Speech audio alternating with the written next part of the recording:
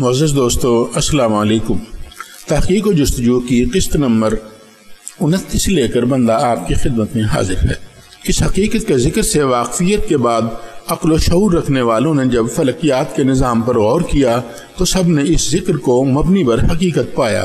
कुरान में फलकियात के बारे में जो कुछ भी कहा गया है, आज की तरक्की याफ्ता साइंस इसकी तस्दीक करती है, जबकि कुरान करीम को किसी तस्दीक की ज़रूरत भी नहीं है।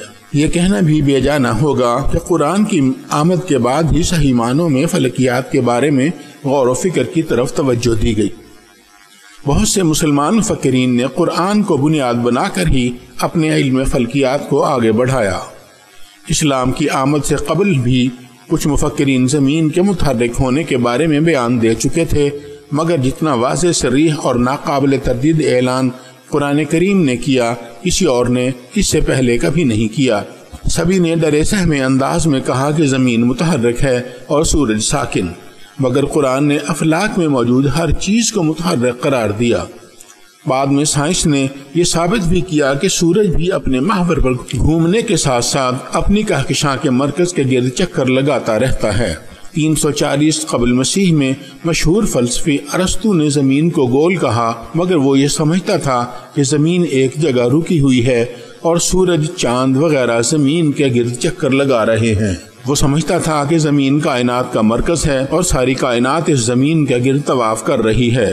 अरस्तु का ज़मीन को मरकज कायनात करार देना महज ज़मीन पर ज़िंदगी की मौजूदगी के कमाल की वजह से था और उस वक्त एक देवताई उनसर भी जहनों पर कब्जा जमाए हुए था। इस्लाम की आमद ने तमाम तवहमाती अनासर के बेखूनी कर दी और इंसानी जहन को जस्त लगाने के लिए एक नई और साइब जहत आता फरमा दी। इस्लाम की रूह से कायनात का मुताला, कायनात का मुकाशफा साबित हुआ। यूरोप ने अगरचे इस्लाम को मिनवान कबूल नहीं किया, मगर इस्लाम की तालीम तालीमत को हर शोब ज़िंदगी में अपना कर साइंसी तरक्की की मंजिलों की तरफ़ गामजन ज़रूर हुआ। यूरोपी दानश्वर इस हकीकत का एतराफ़ भी करते हैं कि उनकी तरक्की इस्लामी तालीमत का मुताला किए बगैर किसी तरह भी मुमकिन न थी।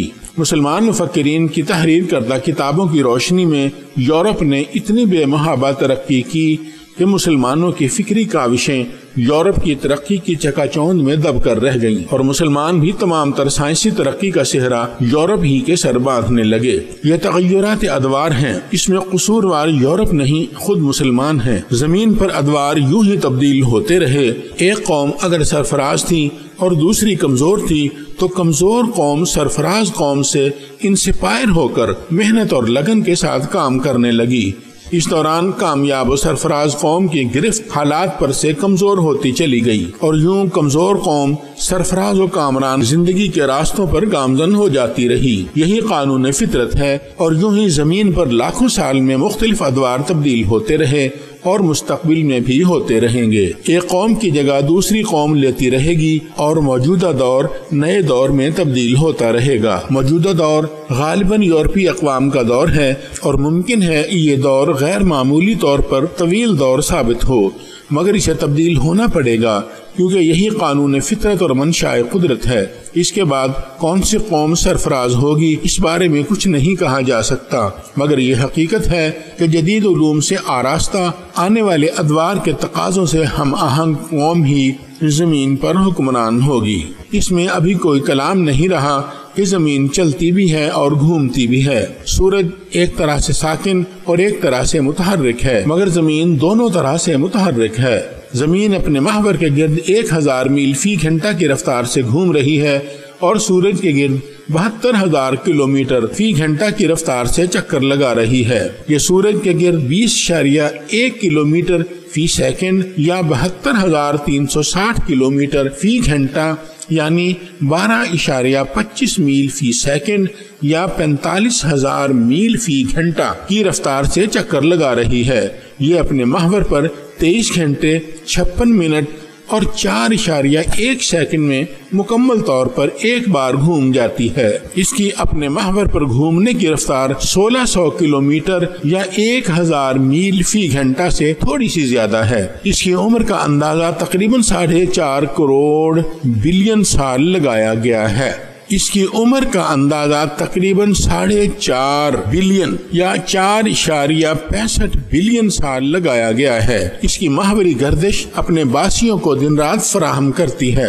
ज़मीन का एक दिन तकरीबन 24 घंटों पर मुश्तमिल होता है और रात इन 24 घंटों में शामिल होती है। रात और दिन की अलहदा अलहदा लंबाई में ज़मीन की सूरज के गिर्द हरकत की वजह से कमी बेशी होती रहती है। सूरज ज़मीन के गिर्द अपना एक चक्कर एक साल में मुकम्मल करती है। सूरज के गिर्द इसकी हरकत की रफ्तार सत्तर हज़ार किलोमीटर फ़ी घंटा है। अपनी इस हरकत के दौरान जब ज़मीन मुख्तलिफ़ मकाम पर होती है तो ज़मीन पर मौसमों की तब्दीली भी अमल में आती रहती है। चूँकि ज़मीन का मदार तकरीबन वैजवी है, इसलिए सूरज के गिर्द ज़मीन के चक्कर लगाने की वजह से ज़मीन पर चार मौसम वजूद पाते हैं। सूरज के गिर्द तकरीबन तिरानवे करोड़ किलोमीटर का फासला ज़मीन हर साल तय करती है और अपनी पैदाइश से लेकर अब तक न जाने ज़मीन कितना फासला तय कर चुकी होगी। सूरज के गिर्द लातादाद सालों में बेहिसाब फासला ज़मीन अब तक तय कर चुकी है। ज़मीन का वज़न छह के बाद इक्कीस सिफर टन बताया जाता है। यह वज़न सिर्फ़ मिट्टी, यानी सॉइल का नहीं, बल्कि इसमें मुख्तलिफ़ अकसाम की मादनी धातें भी शामिल हैं, जो ज़मीन के अंदर तह दर तह पाई जाती हैं।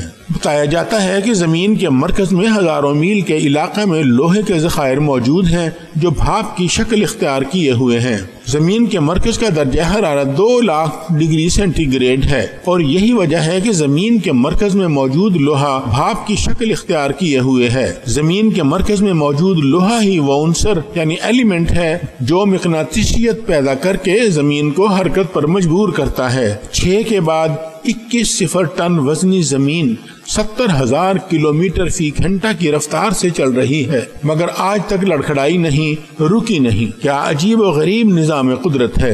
इसका मतलब है कि अगरचे ज़मीन के साथ छोटे मोटे आवारा सैारे टकराते रहे हैं, मगर कोई इतना कसीर वज़न, खलाई जिसम ज़मीन के साथ आज तक नहीं टकराया जो इसको इसके मदार से हटा सकता। ये हो सकता था, मगर खाल के कायनात ने ज़मीन की हिफाजत का बंदोबस्त भी यकीनन कर रखा है, वरना कोई भी कसीर वज़न खलाई जिस्म ज़मीन के साथ टकरा कर ज़मीन को उसके मदार से हटा सकता था। अपने मदार में चलते फिरते ज़मीन पर ऐसा वक्त भी आता रहता है जब सूरज और ज़मीन के दरमियान ज़मीन का चाँद हाइल हो जाता है। उस वक्त चाँद का साया ज़मीन पर पड़ने लगता है। इस अमल या वाक़ को सूरज ग्रहण कहा जाता है, जबकि सूरज ग्रहण की वजह से सूरज की हालत में कोई तब्दीली वाक़ नहीं होती। सिर्फ़ इतना होता है कि ज़मीन पर पहुँचने वाली सूरज की रोशनी चाँद के दरमियान आ जाने से रुक जाती है।